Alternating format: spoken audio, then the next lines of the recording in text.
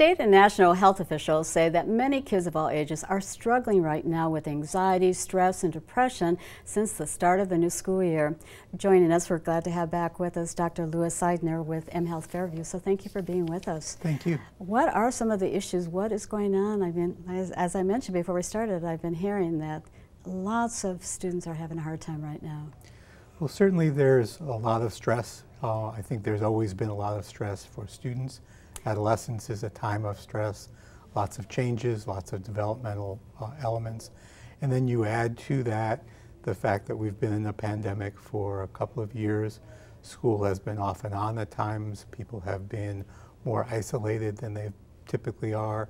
Uh, even families at times don't get together because of the pandemic. And so people have felt more isolated, and that's one of the triggers for symptoms of, of mental health. And as you said, it, um, it's not unusual. New school year, students have a lot of stress and anxiety, but even right. more so now. And is it because the, the COVID is still with us and we're still seeing that? Health uh, issues? Certainly, COVID is an issue, and I think the uncertainty of our health, the uncertainty of where it's safe to go with a mask, without a mask, all of the questions that have, have come up with that. Is there a new variant? Will I catch the variant? What's the consequence? Uh, but I think there's also a lot of other things going on in our world, and all of those together uh, add to a stressful situation in combination with a time of life that's particularly stressful. and it's right on their their mobile, their iPhones, and it's right sure. there with them all the time. Yeah, it's hard to separate from what's going on in our communities, our world, uh, and everything in between. What type of um, symptoms and things are they exhibiting someone who might be experiencing the stress, anxiety, or depression? Sure. I know it's different for different things, but. It is. And I think what's important to understand is that we all have some of those symptoms. Um, we all have times when we're anxious. We all have times when we're sad, other times when we're less sad and less anxious. So we're all on a continuum. And when we talk about it as being problematic, it's when it impacts someone's ability to do the things they enjoy and to do their normal activities, going to school in the case of a student, uh, having after school activities, having friendships, having interaction with family. Those are normal things to do. And when those symptoms get so significant that it impacts their abilities to do those things, that's when we talk about it as needing some form of intervention. How do you know at what point then they need either from a school counselor to more professional medical help and stuff like that. Right. Well, we are very appreciative of the school and the school counselors and the observations of school professionals. Uh, that's probably one of the biggest elements that was missing through COVID are the observations of objective parties in, in the school, people who know kids and appreciate the changes in them. Uh, so that has been a significant challenge while schools were closed or while schools had staffing challenges um, to, to do that. I think part of it is know your child uh, and know when the symptoms are no longer just a bad day, uh, just a tough you know, interaction with friends, but really are causing more significant problems and more protracted problems.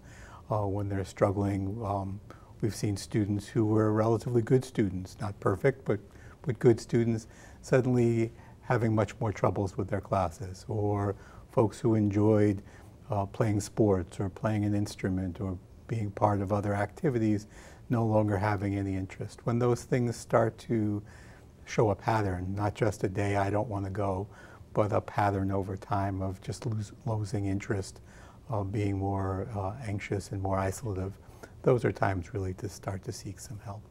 And we're talking about kids of all ages, all backgrounds, the whole. Right. It, it's equal opportunity. Equal opportunity. That's the word I was looking for. Yeah. yeah. It's all children. Um, you know, every child, every person is on a continuum. Some children struggle more, some struggle less, uh, but particularly through the last two and a half years or so, I think we've all struggled a little more than we did prior. And so children who maybe had more potential for struggling may be really struggling now, uh, but even children who may not have been struggling are now struggling a bit. And what type of help is available? What does M Health Fairview offer? You know, I think there's all kinds of, of, of uh, available services. The one that I would usually advocate starting with are school resources. You know, school resources are available uh, and, and you know should be checked into uh, whenever feasible. Uh, additionally, there are many kinds of therapists in our community. Uh, M Health Fairview has a service that if you have a particular area that you're looking for, a particular type of service, we can help connect you with those, um, those services. You know, for some, it gets more significant. Um, one of the things that we always worry about are kids who feel hopeless, and sometimes as a result of that hopelessness, feel like life is not worth living uh, and potentially want to take their life or, or, or take risks that, that risk their life. And so we want to intervene quickly in those cases. And Um, there's a new hotline number, I think, for suicide There is. prevention, 988, Mhm. that is available 24 7 everywhere. It is. A- And I think it's important that we take those kinds of thoughts seriously. Um, you know, it's not something you can just push through it oftentimes. And so um, I, I, I always stress know your child, pay attention to what's going on with your child. And, and this is true for adults too. So I, I know this is particularly about children, um, but I think know your own uh, emotions and, and know where those edges are. Well, it's been a pleasure to have you back on the show with great information for our viewers, so thank you so much. Really appreciate it. Thank you. Thank you. When we come back, a young White Bear Lake man shares his personal story and his need for a new kidney. His story is next.